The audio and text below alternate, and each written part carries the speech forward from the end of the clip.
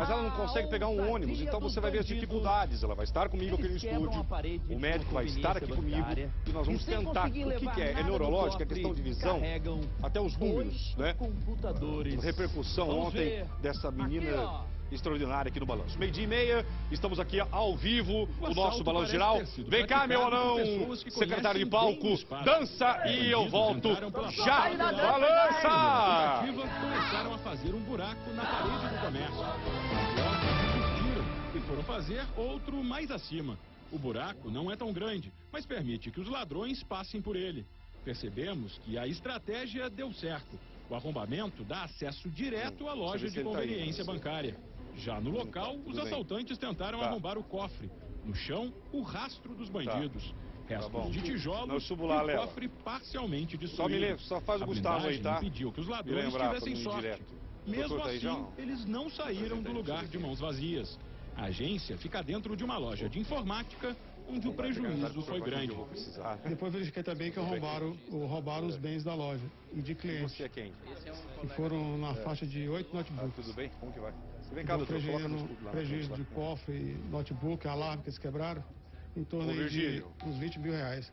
Eles levaram as aparelhagens de filmagem, coloca lá atrás, que é coloca DVR, lá o médico, Catarino, por favor. e quebraram o sistema de, de alarme. Depois de fazerem a limpa no comércio, os criminosos arrombaram outras duas portas que dão acesso à escada Sim, por onde eles entraram. Repare que a primeira porta ficou completamente destruída. A 13ª Delegacia de Polícia Oi. investiga o caso e a perícia já Oi. foi feita. Pela ousadia deles, com certeza obrigado, foi, foi gente que conhece, sabia do, do, do todo o sistema e pela frequência de, de arrombamento, isso está tá ficando rotineiro. Então espero mais da, da, da, das autoridades da Secretaria de Segurança um, um sistema mais ofensivo contra essas bandidagens. Né? Na mesma noite, em Ceilândia, um trio praticou uma ação muito parecida com a de Sobradinho. Os ladrões usaram uma loja vizinha que está em construção para ter acesso à casa lotérica. Primeiro, quebraram a parede da obra, que fica numa rua sem movimentação. Em seguida, conseguiram entrar na casa, mas Não, o alarme informar que o médico já está aqui, a menina... Trio fugiu sem levar nada, mas um dos bandidos foi pego pela polícia no momento em que a ronda passava pelo tá local. É, a empresa de segurança que tá. faz a vigilância da lotérica nos acionou dizendo que havia um furto na loja. Hum. Então a, a tá. Cotan deslocou para o local, verificou que a porta da frente continuava é, selada, então que havia um arrombamento por trás. A equipe deu a volta no, na quadra e encontrou três elementos correndo e conseguiu segurar apenas um deles. E esse tipo de ação está se tornando cada vez mais comum. Nos primeiros dias de janeiro, a Record mostrou que assaltantes usaram mais uma loja em construção para cometer um crime. Nesta, eles arrombaram uma janela para conseguir pescar produtos da sapataria ao lado.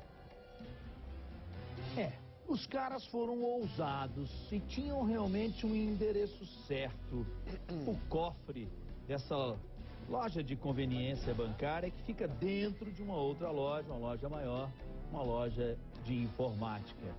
Vejam aí o estrago que esses bandidos fizeram nessa loja. Abriram esse buraco, caíram para dentro e tentaram de todas as maneiras abrir o cofre mas não conseguiram. Fizeram um estrago grande, mas não conseguiram. Sem acesso ao cofre, eles fizeram a festa na loja de informática, levando oito computadores. Prejuízo total, algo em torno de 20 mil reais, contando aí os computadores e todo o estrago feito na loja, portas arrombadas e tudo mais. 13 terceira DP no caso, investigando. Infelizmente não vai ter as câmeras de segurança, porque os caras levaram a filmagem, né, o HD, e ainda quebraram o alarme. Então, câmera de segurança aí não vai ter. Décima terceira, repito, no caso, a perícia já foi feita.